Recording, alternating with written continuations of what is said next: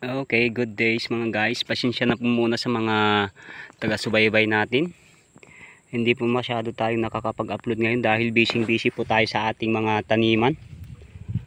Ah, sayang naman kung hindi natin tatamnan tong ating lupa dahil palay sana yung itatanim natin kaso walang tubig eh naka tatapos na siyang na na traktor kaya sayang naman kaya ito muna yung pinagkakaabalahan natin. Uh, nagtatanim tayo ng mga gulay, sitaw. Yan, sitaw. Sa ano yun, utong. Utong tawag sa amin, yung mas maliliit. Hindi ko lang alam kung anong Tagalog. Syempre meron din tayong mga pipino. Ayan. Uh, malapit na silang ano uh, makyat malalaki na yung mga talbos nila.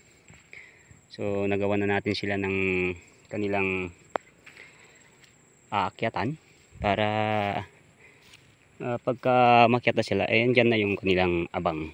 So ayan sitaw. At uh, sitaw din mga yan ito. Meron din tayong mga saluyot. Ayan Ayan, sitaw lahat yan. Ang problema nga lang, wala tayong ano. Pag tagtanim ka kasi ng gulay dito, ang problema, walang ma pagbendahan, walang bumibili. Kakaunti lang kahit na libre na eh. Parang ano pa rin. Parang ang hirap pa rin. So, madami na silang mga bulaklak oh. Oh. Dami ng bunga mga 3 days pa siguro bago tayo unang mag harvest nito. Mga 45 days to eh. so meron pa silang kasunod para hindi sabay sabay at syempre meron din dito tayong uh, binubungkal pa para uh, susunod nating tamnan para hindi sabay sabay kasi mahirap magbenta ng gulay dito. Uh, mga tao dito kasi pangmadalian lang yung kanilang gusto. Uh, gusto nila libre. Kung nadaanan nila kukuha na lang sila. Yun ang mahirap dito. Yan pamain. Uh, meron din tayong mga ano dito. Patula saka okra. Ayan mga okra. Ayan uh, nagbubungkal tayo. Gamit natin yung ating makina. Kakarag-karag ng makina. Ayan. So bubungkalin muna natin to. Papakita ko kung paano kami magbungkal ng ating lupa dito sa amin